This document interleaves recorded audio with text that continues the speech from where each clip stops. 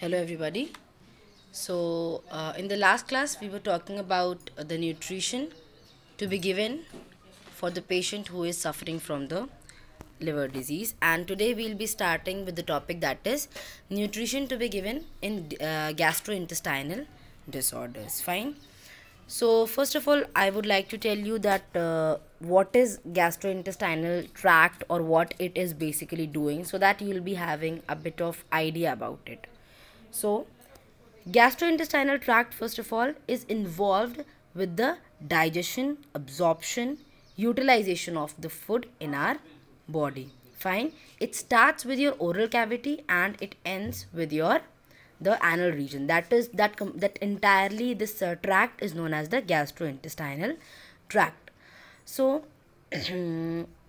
I would also like to uh, tell you that whenever we talk about a disease that is gastrointestinal disease, or whenever we say that a person is suffering from gastrointestinal diseases, so there, what happens basically?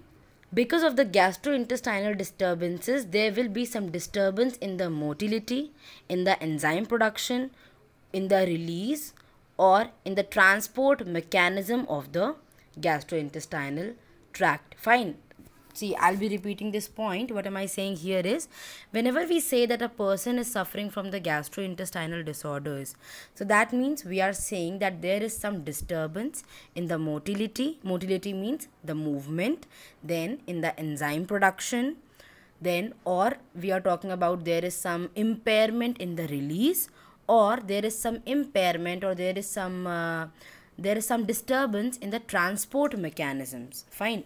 Depends on the then it's not that that all the all these conditions will be happening in a particular disease condition because any one or any two things can be uh, there any one or two symptoms can be there depending upon the type of disease we are talking or the nature of the disease. Fine. Then then when these kind of abnormalities or when these kind of impairments or abnormalities happens so these abnormalities basically interferes with the proper efficient digestion and absorption. Because of the impairment or because of the abnormalities the digestion and absorption of the person gets hampered. So that is what happening in the gastrointestinal disorder. Now there are certain disorders which are uh, most commonly seen. That is it can be diarrhea. You people most of you have heard of these disorders which i am enlisting right now. That can be the diarrhea. That can be your uh, constipation. It can be the peptic ulcer. Or it can be sometimes the malabsorption syndrome. Fine. If i'll be telling you in a layman language or in some uh, not in the medical terms or if i am defining it in a simple term in the simple language i'll be telling. See what is diarrhea now? I want i wanted you to explain actually i want you to you people to understand first first that what is diarrhea what is constipation what is peptic ulcer what is malabsorption syndrome before i move to the exact topics that what are these. Diarrhea means when the person is having frequent loose stools that is known as frequent loose stools are known as diarrhea. Then what is constipation? When the when the stool gets hardened and gets difficult for the passage that is constipation. Fine? Then peptic ulcer. Peptic ulcer is what? When the uh, the inner mucosa of the stomach when that mucosa gets inflamed and gets ulcerated that is the peptic ulcer fine. Then next is your malabsorption syndrome. Malabsorption syndrome means when uh, the, whatever nutrition when you are taking. So that nutrition is not getting absorbed by the body. See what happens. Whenever we take uh, this thing whenever we have food so what happens? The food which we are having it gets absorbed by the body right? But in malabsorption syndrome what happens? The nutrition which you are taking is not getting absorbed by the body whereas it is the, the waste is excreted from the body and the majority of that nutrition is excreted in the feces and uh, is excreted like waste your body is not utilizing it your body is not absorbing it actually so that is malabsorption syndrome see whatever i have defined here about diarrhea constipation peptic ulcer malabsorption syndrome it was just because I wanted you people to know in the simple language that what it is. Now we'll be studying one by one about all these conditions. So the first is your diarrhea. So now what is diarrhea? Diarrhea is the frequent passage of loose, watery and unformed stool. Stool means you people already know that stool is what? Stool is your feces. Okay. So when there is this passage of stool which is loose which is watery and which is unformed that is known as diarrhoea ठीक है diarrhoea means जैसे हम बोलते हैं loose motions हो रहे हैं so that is diarrhoea so loose motions का क्या मतलब है? That the motion is loose it's not necessarily that the frequency of the passage of stool is high okay it's just the maybe you are you are passing the stool just once in a day but that is loose so we call it as loose motions okay there is a difference between loose motion and diarrhoea as well that's what I am telling you right now see loose motions का क्या मतलब है? That the stool is loose और the faeces is loose but it necessarily not be including the increased frequency of passage of stool. मतलब ज़रूरी नहीं है आप दिन में दिन में अगर एक बार लूज मोशन हो रहा है, एक बार लूज स्टूल हो रहा है तो उसको हम डायरिया नहीं बोलेंगे, क्योंकि फ्रीक्वेंसी यहाँ पे बढ़ नहीं रही है ना। फ्रीक्वेंट पैसेज नहीं है it's just happening once a day so that is loose stool but diarrhoea क्या हो जाता है, जब स्टूल का जो पैसेज है, जब उसकी फ्रीक्वेंसी बढ़ जाती है, और वो भी कैसा स्टूल जो लूज है जो वॉटरी है, जो अनफॉर्म्ड है that is diarrhoea and when this diarrhoea जब डायरिया के स्टूल में म्यूकस या फिर ब्लड भी ऐड हो जाता है मतलब जो स्टूल आप पास कर रहे हो when it con, it contains mucus or it contains blood in it, that is known as dysentery. Getting me so it will be asked in future what is diarrhoea what is dysentery तो diarrhoea मैंने बता दिया क्या चीज़ है? Same diarrhoea हमारा जो है, जब उस डायरिया में, जब उस उस स्टूल में वेन देर इज़ म्यूकस और when there is blood that is known as dysentery fine so this diarrhoea can also be accompanied by abdominal pain cramps vomiting these things can be there then the diarrhoea can also be acute और chronic. Diarrhea is of two types that is acute or chronic. And it can also last for a few weeks. See i have told you many a times what is acute and chronic. I hope now everybody is clear at the back of their heads that what is acute and what is chronic. Fine.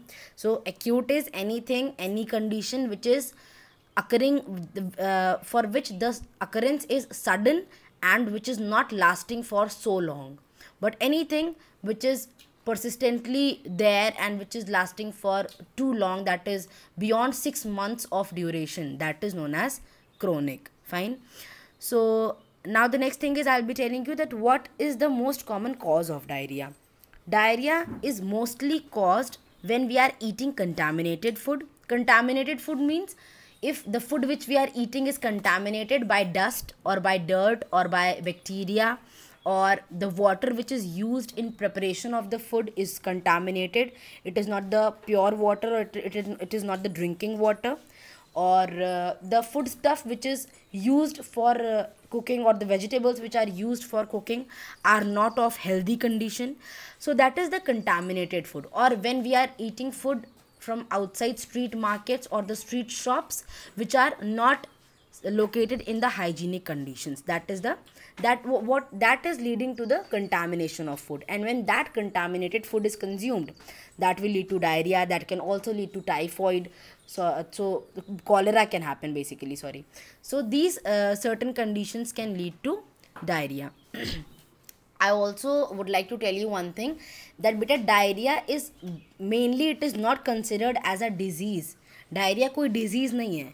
But if a person is having diarrhea or if a person is suffering from diarrhea, that is a symptom that your body is infected or there is some infection or there is some disease which is growing up in your body or which is there in your body. So that is mainly a symptom. That is not exactly a disease but that is uh, working as an underlying symptom which shows that the body is infected or your body has some kind of infection in it so yeah i was telling you about the causes. So the most common cause of diarrhea is eating the contaminated food then eating under unhygienic conditions. When you are in unhygienic conditions and the food is prepared there or if the food was prepared in hygienic conditions but the but where you are eating it that is basically unhygienic so that can happen.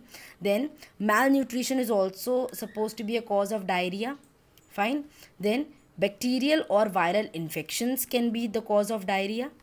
And mainly diarrhea is supposed to be a killer when it happens in infancy or when it happens in the childhood. Fine. An infant or a child when the, when when an infant or when a child suffers from diarrhea and when it is not treated at the right point of time it can also be life threatening fine. So Uh, and the prolonged if if there is prolonged diarrhea so what is happening the water is getting excreted out from the body electrolytes are getting excreted out through feces then this can lead to dehydration and this can lead to electrolyte imbalance and nutrient deficiencies. Fine. This mainly happens in diarrhea. The next is your treatment and dietary management in diarrhea. So, uh, first of all, we'll be talking about the acute diarrhea. Then we'll be talking about the chronic diarrhea. So, acute diarrhea will be lasting for the shorter duration. It won't be lasting for too long and in diarrhea what is happening that there will be excessive loss of water and electrolytes so in acute diarrhea also the water and the electrolytes will be lost excessively by the body and if this uh, electrolyte deficiency or if this water deficiency is not treated properly it can also be fatal or it can also be life threatening so we should be uh, properly taking the correct steps or we should be providing the correct treatment to the child or proper rehydration should be provided to the child at uh, it, it should be done very promptly. Fine. We should not be waiting that uh, we should not wait for two days or for three days or like okay let's see what the progress is and then we will be starting the treatment no you should be as soon as you see that the stool is uh, being passed which is loose and which is frequent so we need to start the treatment or we need to start basically the rehydration treatment क्योंकि बार बार stool जब निकल रहा है body से electrolyte निकल रहा है water निकल रहा है so what is happening the body is getting dehydrated fine so as soon as the body starts to get dehydrated we need to start the rehydration of the body. And how can we rehydrate the body? By providing oral rehydration therapy. Fine. Oral rehydration therapy ort or you must have heard ors oral rehydration ors means ors mainly you you must have heard that it is given to children. Because uh, the children if they suffer from diarrhea it is given. So ORS stands for oral rehydration solution and ORT stands for oral rehydration therapy. So oral rehydration therapy is the simple, inexpensive and effective treatment and this ORS can also be prepared at home. Fine, we should not be waiting that okay when the, the, near, the nearby shop will open then we'll be getting the ORS and then we'll be giving it to the child. No, in case of emergency or in any case the ORS solution can be easily prepared at home. So I'll be telling you that uh, first of all the ORS which we get from market what is the content in it. This oral rehydration solution consists of the sodium chloride 3.5 grams, sodium bicarbonate 2.5 grams, potassium chloride 1.5 grams, glucose 20 grams. This is the content which is there in oral rehydration solution. Now how it has to be used? This one sachet has to be dissolved in 1 liter of clean drinking water. Then this oral rehydration therapy has to be started as soon as the child passes the stool. Okay. See how we uh, give it or how, how we basically have a calculation in our mind that for every passage of stool like for every like uh, once the child is going for the passage of stool once. So for each and every passage one glass of oral rehydration solution has to be given. If the child is uh, passing this this loose stool three times a day so three glass of oral rehydration therapy oral rehydration solution has to be given. That is just uh, a simple calculation which we do in our minds or which has to be uh, told to the parents of the children or which has to be told to the family that how they can see how much they should be giving it to the child. Like that we tell it to them. Then the next is um, this oral rehydration therapy has to be provided as soon as the child uh, uh, starts to suffer from the loose stools or as soon as the child is passing the loose stool then if the child is on breastfeeding then it should not be like uh, the breastfeeding has to be stopped because now you are starting ors no. The breastfeeding will be continued along with the ort some other fluids can also be given like coconut water can be given barley water can be given weak tea can be given whey water can be given uh, then albumin water can be also given. Buttermilk can be given. Cereal water can be given. Pulses water can also be given. When the child that it is given for the child or for the person who is having food not to the child who is just breastfeeding. Fine. Not to them. So because the, the breastfeeding children or the very small uh, children or the infants should be breastfed and should be given ORT along with it. If that is still not, uh, if that is not working up, then the rest of the things can be given after asking it from the doctor. Fine. Then the next is this was about your acute diarrhea. The next is your chronic diarrhea so chronic diarrhea is the same it will the the, the loose stool and the frequency of the loose stool will be uh, will be more and uh, the duration of the the duration by which the chronic diarrhea exists will also be more. So the main objective that why are we doing the dietary management in chronic diarrhea is for the replacement of the water and electrolytes. Because after see chronic means anything or any condition which is there since so long. So if a person is like if i am suffering from chronic diarrhea since uh, 5 to 8 days or since a week so that means so much of water and so much of electrolytes i already have lost from my body. See so much of electrolytes and so much of water i already have lost or is already lost from my body. So for the replacement of the water for the replacement of the electrolytes which is lost this dietary management is done for the chronic diarrhea.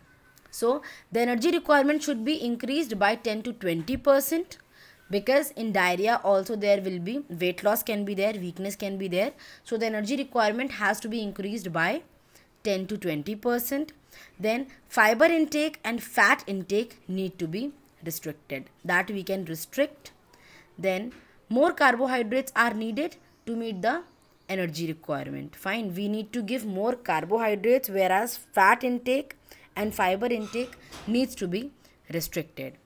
Minerals and vitamins are to be supplied in the daily diet. The minerals, vitamins will also be added. The supplements are to be added in the daily diet of the person. So like that it has to be done. Then the next is the foods which we can allow. The foods which can, which can be allowed will be your washed pulses, refined cereals can be given, well cooked vegetables can be given, banana, papaya, milk products like curd, chicken and fish. These things can be allowed in the diet.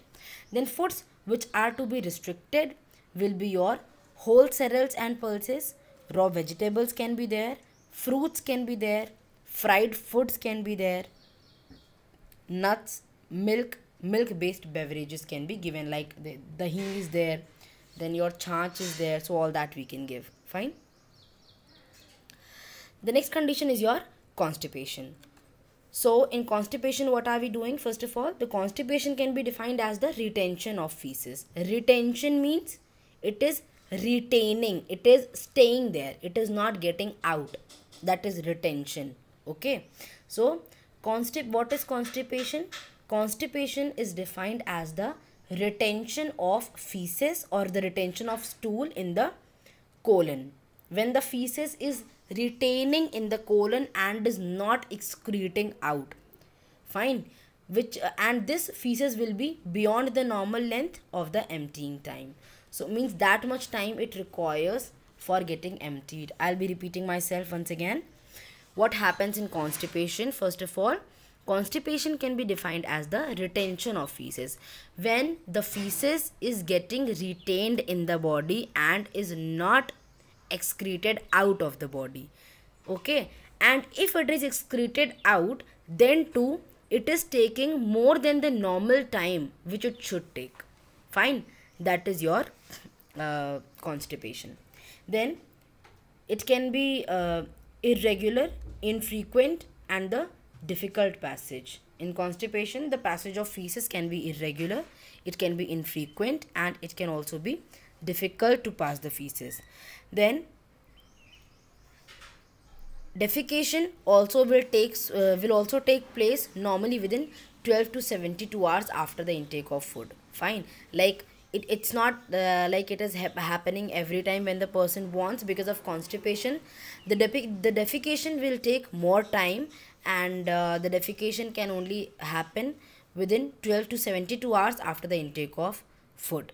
Fine so now the constipation can be of two types that is your atonic and spastic. Atonic and spastic. Now what is atonic constipation? When the muscle tone in the col of the colon or when the muscles which are there in the colon or in the rectum when those muscles lost their tonicity okay? Or when when these muscles uh, gets atonic then it leads to the difficult evacuation of stool. Then the stool is not easily excreted or is not evacuated easily from the rectum. And that leads to atonic constipation. See that as the word says atonic means we are talking about atonicity or the loss of tone or the loss of muscle tone.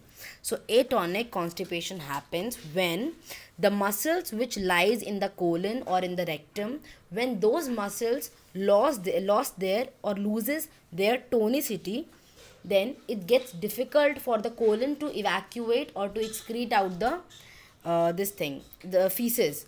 So that leads to atonic constipation. And this type of constipation is mainly seen in the elderly people in the pregnant women and in the sedentary workers. Fine elderly people these people why elderly? Because elderly people mostly have this uh, the, the muscle tone in their body gets lost because of the aging. And in pregnant women why it happens?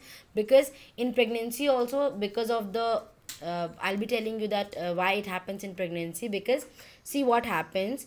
The baby rests in the uterus of the mother right? The uterus is located or is situated between the urinary bladder and the rectum so because of the enlargement of the uterus during pregnancy okay what happens in pregnancy the baby because of the presence of the baby in the womb or because of the presence of the fetus in the uterus the uterus gets enlarged right uterus बड़ा हो जाता है और uterus हमारा body में present कहाँ पे होता है ब्लैडर के ब्लैडर के पीछे और रेक्टम के आगे मतलब यूरिनरी ब्लैडर और रेक्टम के बीच में यूट्रस प्रेजेंट होता है। तो जब वो यूट्रस बहुत ज़्यादा बढ़ जाएगा तो ब्लैडर के ऊपर और रेक्टम के ऊपर प्रेशर लगाएगा right so because of the enlargement of that uterus the rectum of the mother sometimes gets atonic so it is mainly seen that's why in the pregnant women then in sedentary workers sedentary workers क्यों? क्योंकि उनकी जो activity है, वो बहुत ज़्यादा reduce होती है। So because of lack of activities because of the uh, because of not so much of work because they are not using their muscles so much that happens with the sedentary workers. Okay? And this atonic uh, constipation also is known as lazy bowel syndrome. Lazy bowel syndrome because lazy means somebody who is not active who is lazy बहुत आलसी so lazy bowel syndrome इसलिए कहा गया क्योंकि बूढ़े लोग होते हैं वो भी बहुत ज़्यादा मूवमेंट नहीं करते प्रेग्नेंट वेमेन भी बहुत ज़्यादा एक्टिविटी भी नहीं है और यूट्रस भी इनलार्ज हो रहा है सेडेंट्री वर्कर्स में भी बहुत ज़्यादा एक्टिविटी नहीं है so that that's why it is known as lazy bowel syndrome okay then next is your spastic constipation the first one was atonic constipation the second is your spastic constipation spastic constipation mainly occurs due to increase in muscle tone. Atonic में क्या था? Muscle tone loose हो रहा था. Spastic में क्या है? The muscle tone gets increase because of this increase muscle tone the cavity through which the faeces should be should be evacuated the cavity gets narrowed fine and if the cavity gets narrowed the stool will not be evacuated right if the cavity is giving an example like if you have uh, a pipe if you have a pipe in your hand like if you use a pipe if the pipe is narrow or if the diameter of the pipe is narrow the water will not be flowing as much as it will flow if the diameter of the pipe is wider. Fine. So now similarly the cavity it gets narrowed so because of the narrow cavity, जब cavity हमारी जो होती है cavity मतलब cavity क्या होती है? You can say like it is an it is a hollow kind of a structure a hollow structure is known as cavity so जब हमारी जो कैविटी होती है, उसमें मसल टोन जब हमारी इंक्रीज हो जाएगी तो क्या होगा? कैविटी नैरो हो जाएगी, पतली हो जाएगी। जब कैविटी पतली हो जाएगी तो जितना स्टूल जितना फीसेस उसमें से इवैक्यूएट होना चाहिए, उतना इवैक्यूएट नहीं होगा। Fine that happens.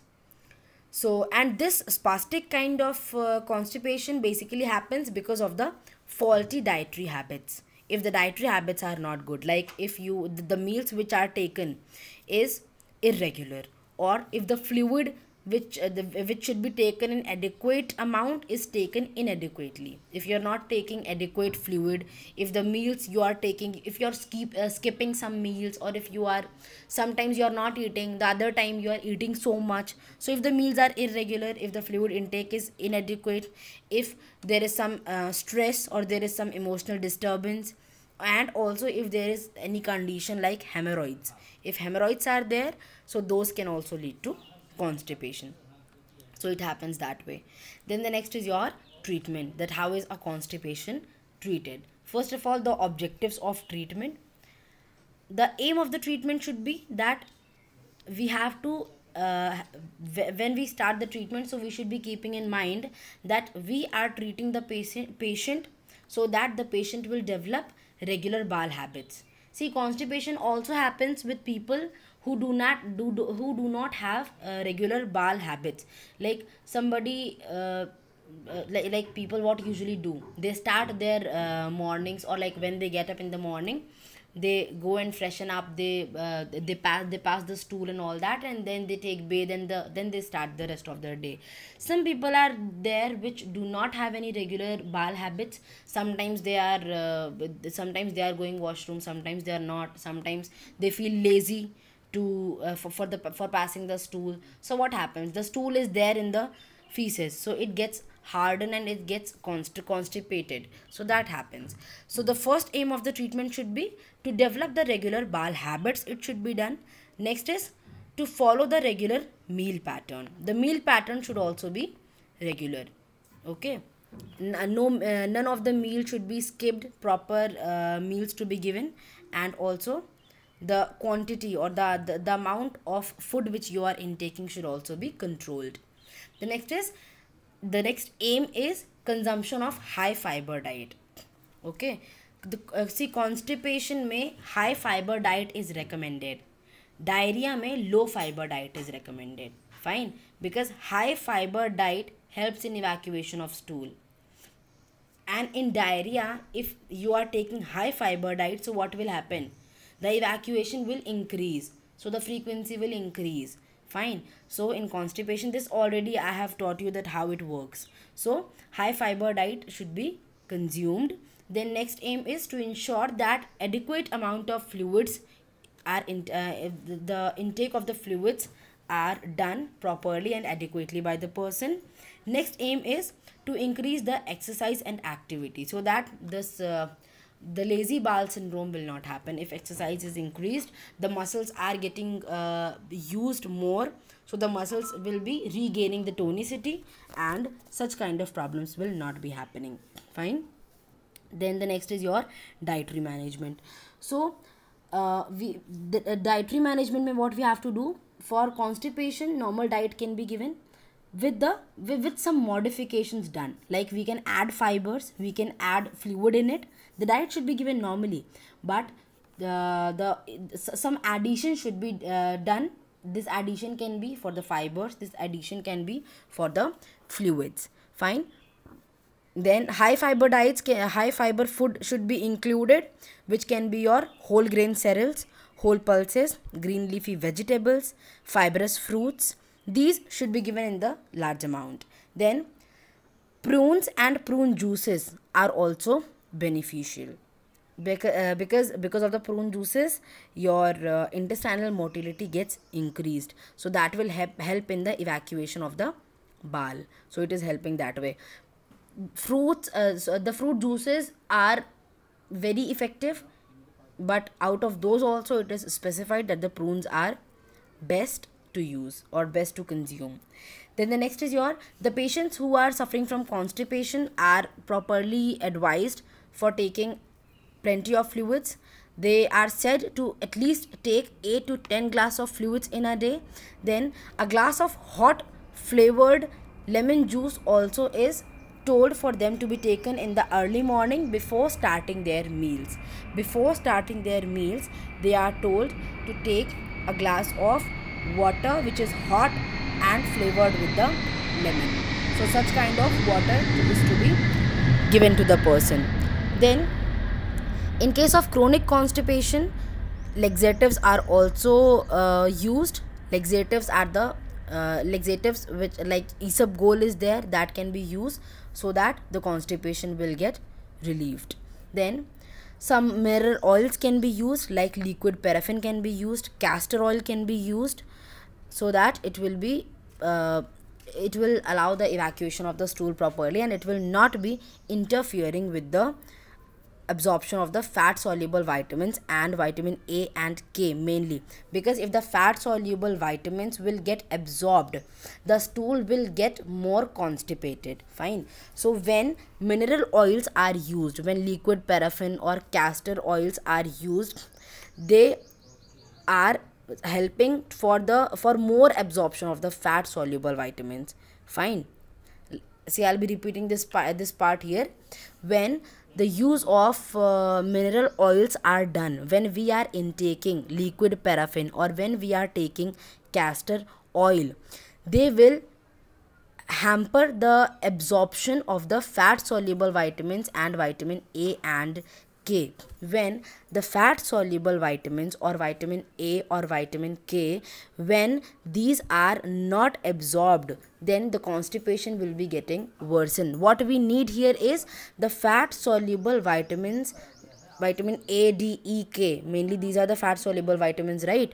So fat soluble vitamins need to be absorbed. We need these vitamins to be absorbed. Fine. Because it will help in the evacuation of the stool.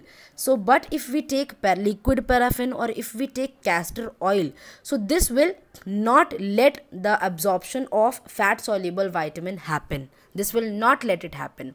So fat soluble vitamins will not be getting absorbed.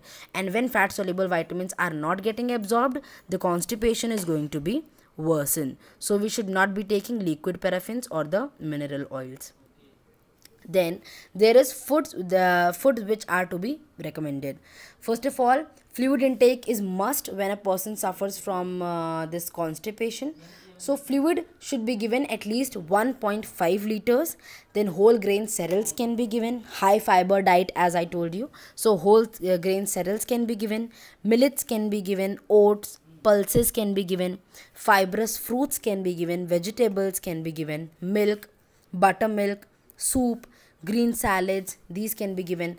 Then fruits and vegetables with the edible skin and peel. See edible skin means the fruits for uh, which we are not peeling off their skin. We need to consume those kind of fruits. Fine. The fruits for which we are not taking their skin off like the apple.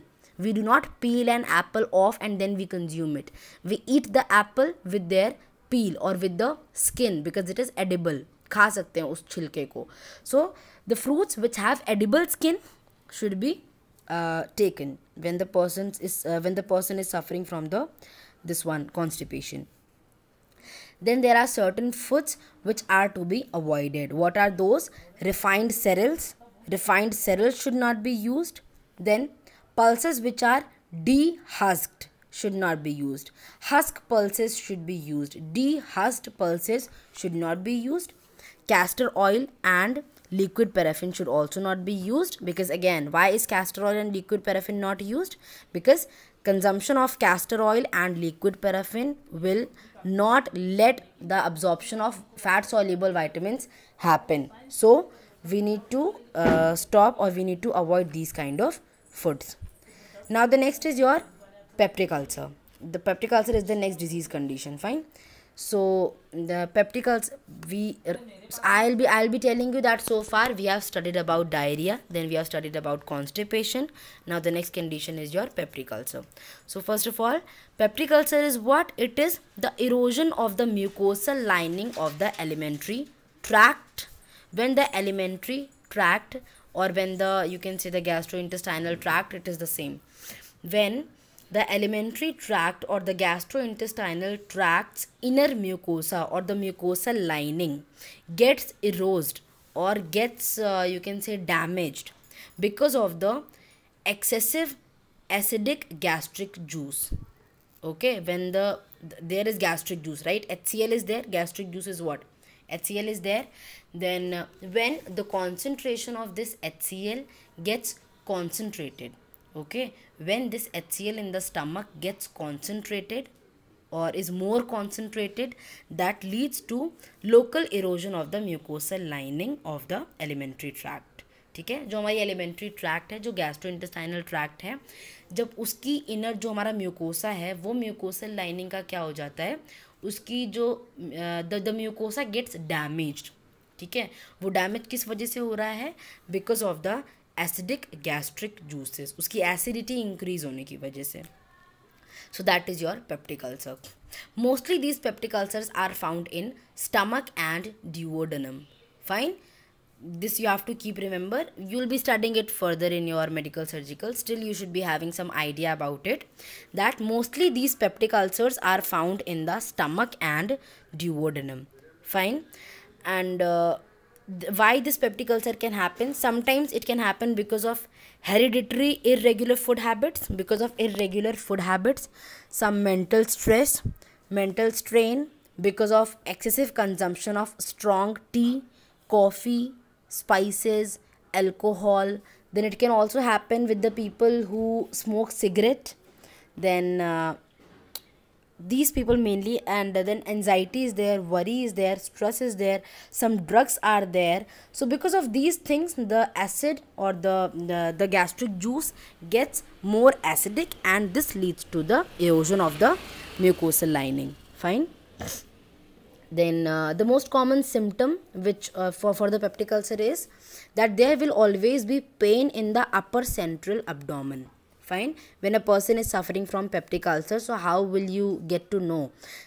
For the, the very first symptom or the very common symptom is that the person with peptic ulcers will always be having pain in the upper central abdomen. Mainly this upper central abdomen pain is there when the person is empty stomach. Fine. This is this maybe is not given in your book i'm telling you. Just to have the general knowledge that uh, when the person is empty stomach this pain will be so much. Because when you are empty stomach the hcl is there in the stomach which gets concentrated. Okay? But when you have something when you have some food so that hcl is mixed up with the food and thus the acidity of the the gastric juice gets neutralized. It is not acidic enough when you have had something. So this pain can subside after intake of some food but in empty stomach the pain will be there and at which location exactly the pain will be there? In the upper central abdomen. So there can this pain can be a burning pain some burning sensation along with the pain can be there or a pressing pain can be happening. Okay? Then uh,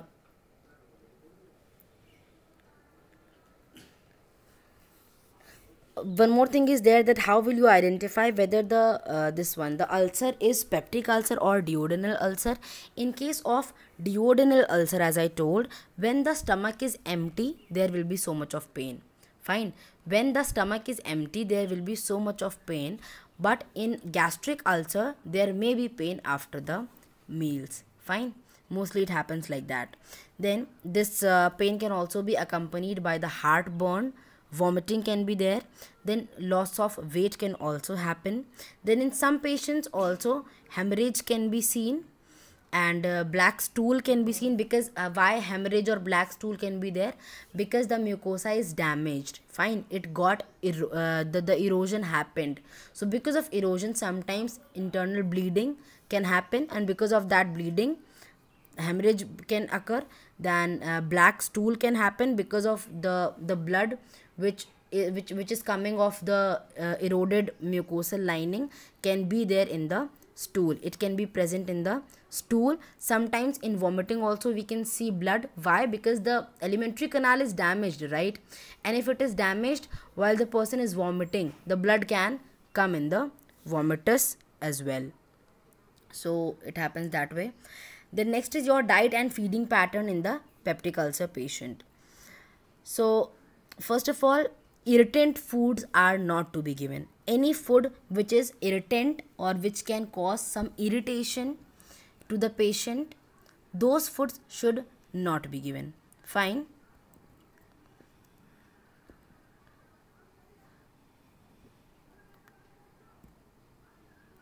Then mechan- first of all first was your mechanically irritant foods right? So mechanically irritant foods are not to be given because uh, the very first thing is it is going to irritate the eroded uh, eroded mucosa. The mucosa already is uh, is uh, damaged. And if you are eating something which is irritant to it so that will be further irritating the mucosa. It will also be uh, increasing the peristaltic action. Fine so these kind of uh, things or these kind of irritant foods cannot be given. Then foods which are chemically irritant are also restricted. Foods which are thermally irritating those also are not to be given. Fine. Chemically irritating foods now what are these kind of uh, foods? Chemically irritating foods are those which stimulate the flow of gastric juices. Okay the gastric juices will be flowing more and more.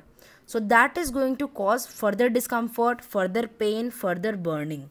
So these kind of foods are also not to be given. Chemically irritating foods can be your spices condiments meat extractives fried food. So eh, these kind of foods are uh, these come under the chemical irritating foods. So these are not to be given. Mechanical irritating foods were your like whole grain cereals are there. Fibers of fruits vegetables are there so these can be the ones. In chemical these were the the the, the spices condiments fried food then uh, alcohol tea coffee cocoa carbonated drinks all these things are there. Then the next is your thermal irritation thermal irritating agents. These are those foods which are very hot or very cold foods because these kind of foods are also going to irritate the alimentary canal. So these are also to be restricted for such patients or for the patients who are suffering from the peptic ulcers. So, for uh, the diet which are to be given or the diet which should be given to a person who is suffering from peptic ulcer can be the bland diet or the you can say the, the bland diet can be given or uh, soft diet can be given to the patient because they will be neutralizing the gastric acid okay the acidity which is too much there or the gastric juices which are too acidic. So what these bland diet what, what what the soft diet is going to do it will neutralize the gastric acid and it will decrease the motility. Okay the movement the peristaltic movement will be getting decreased which we want to happen. Fine. So it will be helping in this thing.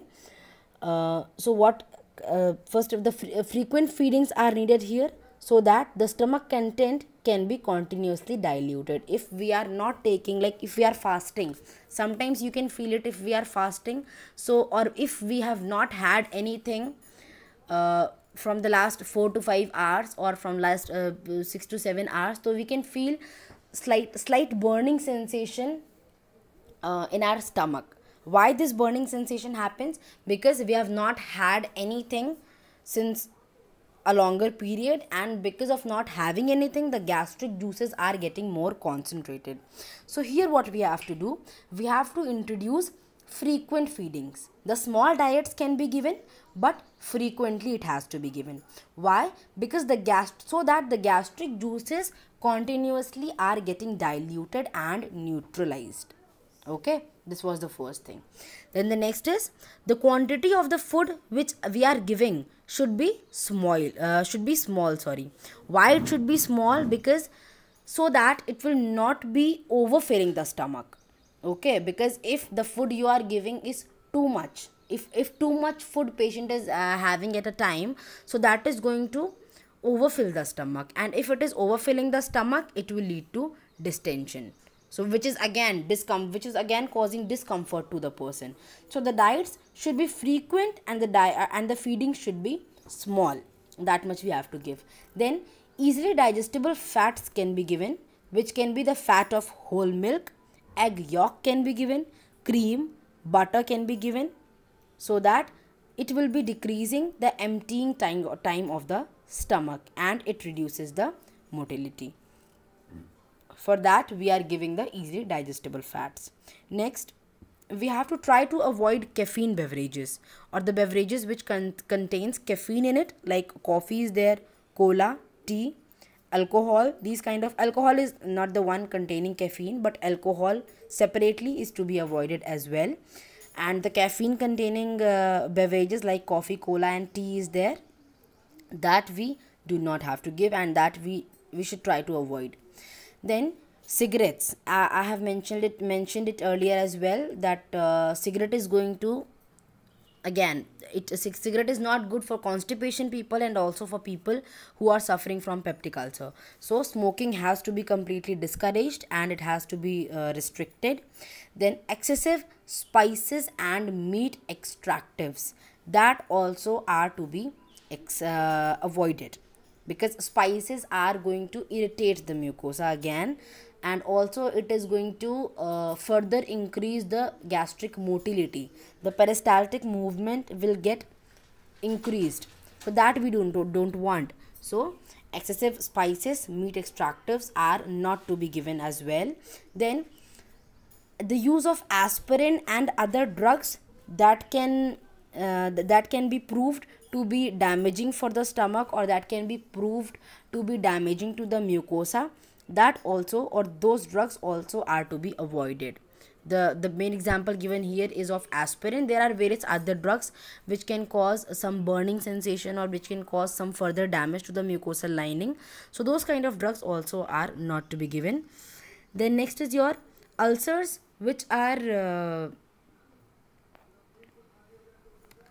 the ulcers which are the ulcers are also known to be the disease of hurry worry and curry why it is said that? Because see ulcers are known as to be the disease of hurry worry and curry it is said because uh, uh, like if we are in hurry and we are skipping our meals first of all that was a reason.